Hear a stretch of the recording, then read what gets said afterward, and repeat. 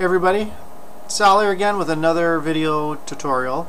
Uh, today I thought I'd do a video on transferring some uh, some of your files from the from Xbox to Xbox. So let's say you picked up a new Xbox uh, Slim and you had information that you want to transfer transfer over to your new one, such as game saves and possibly even game downloads and stuff like that. This can be done without ordering the cable. Um, I guess you would only order that transfer cable is if you had the hard drive and you had no way of getting another um, another Xbox to connect it to because this method which has uh, been available on the Xbox since spring of 2010 I believe I could be wrong but they just um, made the feature part of the Xbox where you can transfer all your files onto USB key um, and connect it to your new hard drive, uh, new Xbox, and just transfer the files right over. I've I've tried this and it works. Uh, so we're gonna get the camera from another angle here uh, onto the uh, onto the monitor uh, to show you how it's done. Um, and I think they introduced this because they got rid of the memory card slots on the new Xbox. So um, the, this is something that the PlayStation 3 does already, um, transferring game saves and all that stuff to memory keys. Um, so let's get on with it. This is uh, transferring your data from one hard drive, one Xbox hard drive to another, uh, but you'll need uh, both systems to do this. So let's say you do have a hard drive. I mean, there's tons of Xboxes out there. I'm sure several of your friends have it. I mean, it's just a matter of going over there uh, connecting the key, transferring the stuff. You may have to do it two, three times. Depends how much stuff you have because you're obviously limited by the size of uh, memory you have. And I think the Xbox only recognizes up to 16 gigs, so that should be enough. I mean, unless it's video and movies and stuff like that, um, yeah, you're going to have to make a few trips. So let's get on with it, alright? Okay, we're here on the second camera.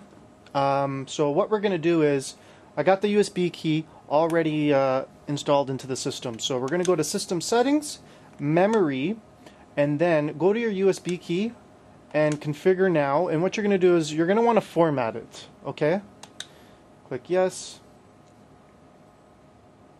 Now, I went into Configure Device, so it's just going to test it and configuring store, uh, storage uh, device. Hopefully it doesn't take too long.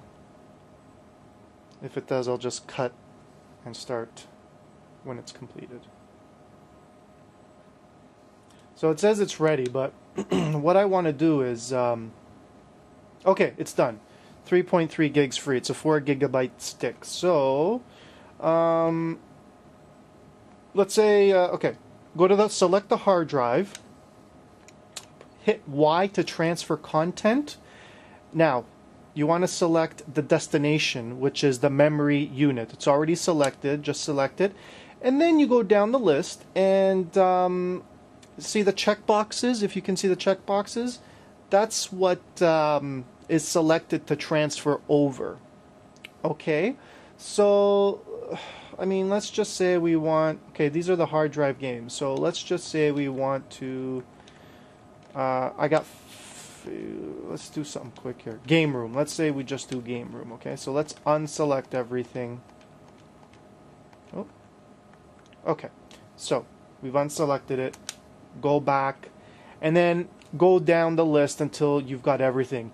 And there's the meter available space, okay? Once you've selected what you wanted, you click start, okay? And now it's transferring over. Okay, transfer complete. A to continue.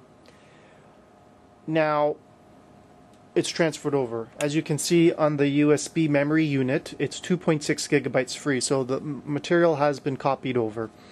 All right. Now, when you want to restore, let's say you go to your new Xbox now, everything is the same. The okay, go back into memory, and then go into memory unit, and then you hit Y again to transfer content. Content now select the destination, which is your hard drive. Select it, and um, I believe everything is already selected off the USB key. Okay, so then you just click Start, and the content will copy over to your new system.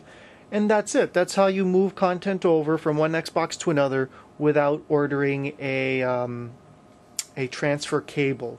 Again, you would only use a transfer cable if you had no access to another Xbox, um, or if you just wanted to do it in one swoop, you know, one shot, transfer it over and, and, get it done. Uh, because depending on how much content you have, you may have to do it multiple times. But uh, but that's it. Hopefully, this is a tip that uh, you guys will find useful and will use if you ever have to um, update. Uh, sorry, ever have to get a whole new console. All right. This is Sal, and uh, signing off. Please don't forget to subscribe to my channel.